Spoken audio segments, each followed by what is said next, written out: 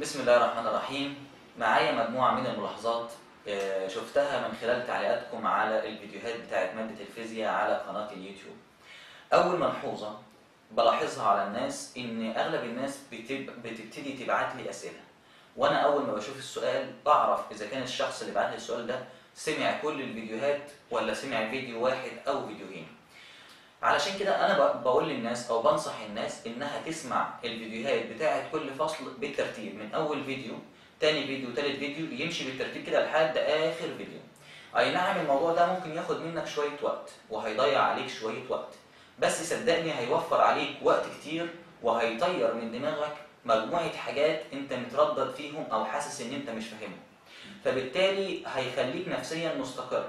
فأنا عايز أقول لك اسمع الفيديوهات كلها بالترتيب 90% أو 85% من الأسئلة اللي بتدور في ذهنك في الفصل ده هتلاقيها متجاوب عليها في الفيديوهات. بعد كده تقدر لو في حاجة واقفة قدامك تبعتها لنا على صفحة الفيس أو في أي فيديو وقدر الإمكان لو في وقت هنرد عليها. لكن أنا ما عنديش وقت إن أنا أرد طبعا على كل الاستفسارات لكن أنا بقول لك كده ليه؟ بقول لك علشان ما تجيش تبعت لي سؤال هو متجاوب عليه في فيديوهات سابقة، لأن طالما هو متجاوب عليه في فيديوهات سابقة أنا للأسف مش هيبقى عندي الوقت إن أنا أجاوب عليه. لأن إحنا بنتكلم على عدد عدد مش قليل بيتابع الفيديوهات أو بيتابع القناة. لو قلنا مثلا 2000 واحد أو 1000 واحد لو كل واحد فيهم بعت سؤال هياخد وقت كتير إن أنا أجاوب على كل الأسئلة دي. لكن لو كل واحد من ال1000 واحد سمع كل الفيديوهات وبعد كده بعت لي سؤال أو اتنين أنا متأكد إن ال1000 هم هيبعتوا نفس السؤال أو اتنين. لأن بقية الأسئلة هيبقى متجاوب عليها فين؟ في الفيديوهات. بالنسبة للملحوظة دي أنا أخص آه، الفصل الثالث بيها. يعني بالتحديد الفصل الثالث كمان أكتر من الفصل الأول والثاني لأن أنا بدأت الفصل الثالث ببداية مختلفة شوية. بدأت الفصل الثالث بحاجتين في أول فيديو اللي هو مدته 17 دقيقة. بدأت بيه فكرة الفصل الثالث بس الفكرة مجرد الفكرة بدون شرح تفاصيل. وبدأت بمجموعة ملاحظات وقوانين وقواعد كنا واخدينها في الفصل الثاني وكنا واخدينها في الفصل الأول. طب أنا بدأت ليه بالملاحظات دي؟ أنا بحاول أفكرك بالقوانين والملاحظات دي من الفصول اللي فاتت.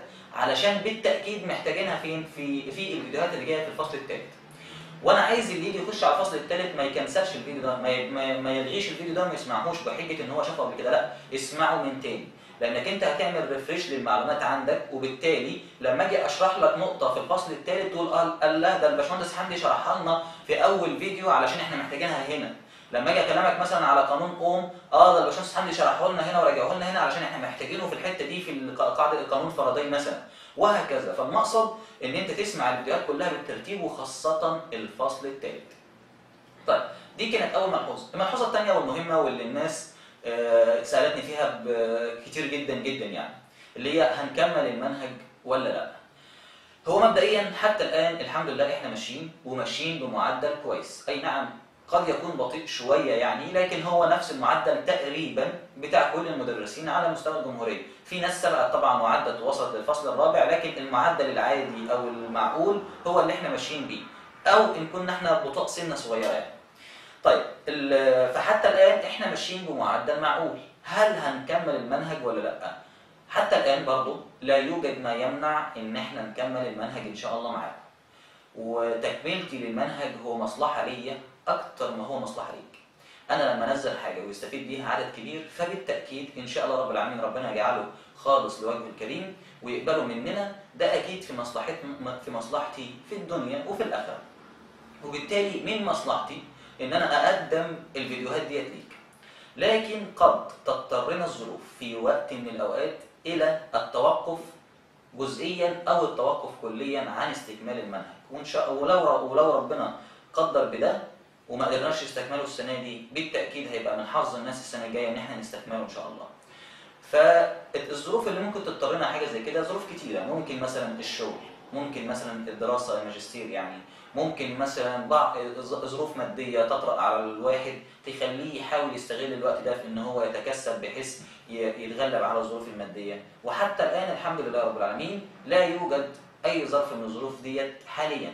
ونتمنى إن هي بتبقى موجودة في بعض الأحيان لكن بنحاول نستغل الوقت ده إن إحنا ناخد آه، فيديو مثلا أو اتنين فيديو في الأسبوع فبنمشي الدنيا. ونتمنى إن الظروف دي ما تعطلناش عن آه، استكمال الرسالة. فده بالنسبة للسؤال اللي محيركم شوية إن إحنا هنكمل منهج ولا لأ حتى الآن هنكمل إن شاء الله. بالنسبة بقى للمعدل اللي إحنا ماشيين بيه برضه ده سؤال متكرر جدا من الناس على الفيديوهات على القناة. آه، كتير من الناس بتعلق وتقول هو المنهج هيكمل ولا لأ. عايز أقول المعدل اللي إحنا ماشيين بيه آه، هيخلينا نلحق نخلص ولا لأ؟ هو الطبيعي إن ده المعدل المعقول. بمعنى إن إحنا أي نعم إحنا لسه في الفصل الثالث وخلصنا يجي نص السنة أو أقل من نص السنة بحاجات بسيطة. بس هو ده المعدل المعقول للفيزياء. بمعنى إيه بقى؟ الوحدة الثانية كلها آه، موضوعات نظرية. يعني إيه موضوعات نظرية؟ يعني شرح نظري. الوحدة الأولى هي مش شرح نظري بس هي شرح نظري ومعاه أسئلة ومسائل كتيرة جدا. مثلا هديك مثال كيرشوف. لما جينا شرحناه شرحنا القانونين بتاعه قانون كيرشوف الأول وقانون كيرشوف الثاني القانونين كشرح ما ياخدوش ربع ساعة أو تلت ساعة بالكتير بحد أقصى. لكن عملنا ما لا يقل عن ساعة ونص أو ساعتين حل مسائل على كيرشوف فإذا لما بيجي المدرس يشرح لك كيرشوف بيشرح لك آه، نص حصة شرح كيرشوف نفسه كنظري ويديك حصتين معاهم شرح أسئلة على كيرشوف نفس الكلام ده هتلاقيه متكرر على قانون اوم للدوائر المغلقة. نفس الكلام ده هتلاقيه متكرر على اجهزه القياس. يشرح لك مثلا درس جهاز قياس ويديك حصة حل مسائل. يشرح لك جهازين مثلا قياس ويديك حصة ولا حصتين حل مسائل. فأصبح دلوقتي المسائل واخدة آه، ضعف الشرح كمان. أما في الوحدة الثانية أنا شرحت درس النهارده بكرة ما فيش عليه مسائل لأن الدرس ده أغلب الدروس الموجوده دروس نظري. مجموعة معلومات أنت بتعرفها وتفهمها وتحفظها في النهاية لو في حاجة محتاجة تتحفظ وخلاص. فبالتالي الحصة اللي بعدها بتخش في درس جديد. فده اللي بيخلي الوحدة الثانية تخلص برتم أو بمعدل أسرع من الوحدة الأولى. فعشان كده عايز أقول لك إن المعدل اللي إحنا ماشيين بيه لو مشينا بيه على الوضع الحالي إن شاء الله آه، في حدود 1 4 5 4 10 4 نكون مخلصين المنهج ويبقى قدام الناس شهر أو شهر ونص إن هم يقدروا يراجعوا المادة. في بقى ملحوظة مهمة كمان وهي أنا عايز كل واحد بيلاقي معلومة في الثانوي العام أو بيلاقي حاجة إنها هتفيده يا ريت يبلغها لزملاته، صدقني والله ما هتفرق معاك أنت حاجة. يعني أنت مش هتخسر حاجة إن أنت تبلغ زميلك بمعلومة أو بفيديو أنت شفته حلو لقيته هو هيستفيد منه علشان آه، يعني الحمد لله رب العالمين ربنا هيخلف عليك بالخير. أنا شفت الكلام ده معايا أنا شخصيا وأنا في الثانوي العام. فبالتالي أنت شفت ان الفيديوهات الفيزياء حلوة بلغ زملاتك بيها. شفت فيديوهات عربي كويسة بلغ زملاتك بيها. آه، شفت سؤال كويس على النت ولقيت حل له كويس تبلغ بزميلك تقول له والله ده في مسألة كذا تعرف تحلها آه، تختبره فيها ما عرفش يحلها تقول له طب الحل بتاعها كذا كذا كذا. هو نفس الكلام يعمل معاك ده. ده بيخليكم أنتوا الاثنين تطلعوا مع بعض. لكن انت لو قفلت المعلومات ديت عليك وهو قفل المعلومات اللي هو بيجيبها عليه فأصبح انت معلوماتك معاك وهو معلوماته معاه يجي في المسألة واح- واحدة من هنا وواحدة من هنا أنتوا الاثنين ما تعرفوش تحلوا المسألتين دول. فأصبح دلوقتي انت لما ربنا يكرمك بمعلومة فيد بيها زملائك طبعا في النهاية مش هنسى أقول لكم ما تنسوناش من دعواتكم. ويا ريت كل واحد بيستفيد مننا.